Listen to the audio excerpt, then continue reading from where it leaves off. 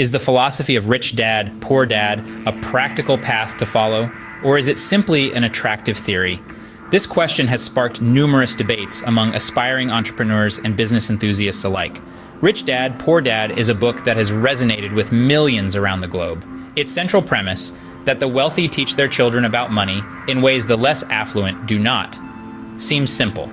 Yet it's a concept that has challenged conventional thinking about wealth, investment, and financial independence. However, the question remains is it as easy to apply these principles in practice, particularly in developed countries? Consider the case of Jane, an entrepreneur from the United States. After reading Rich Dad, Poor Dad, she was inspired to start her own business. She had a clear vision, a solid business plan, and the necessary capital to get started. However, she quickly encountered numerous challenges. From understanding complex tax laws, to securing the necessary permits and licenses, to competing in a saturated market, the realities of running a business in a developed country were far more difficult than she had anticipated.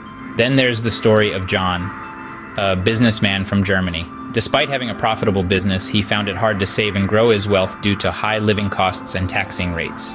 His experience illustrates that even when a business is successful, maintaining and expanding personal wealth in a developed country can be a tough task. These cases show that while the rich dad, poor dad philosophy is compelling, applying it in developed countries presents its own unique challenges. But what about in less developed countries? Interestingly, the landscape changes. Take the case of Maria, an entrepreneur from an underdeveloped country. She found that running her business was, in fact, easier. With fewer competitors and less stringent regulations, she was able to grow her business and personal wealth more effectively.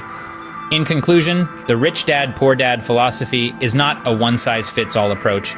It comes with its own set of challenges, particularly in developed countries. However, it may prove to be more applicable in less developed regions where competition and regulations are less fierce. The key takeaway? Wealth creation and business success are not solely dependent on what one learns about money. They are also significantly influenced by the economic environment one operates in. Therefore, before embarking on your entrepreneurial journey, it's essential to understand the unique challenges and opportunities that your specific context presents. In the realm of business and finance, knowledge is power, but the application of that knowledge in a way that factors in the complexities of your environment, that's the real path to success.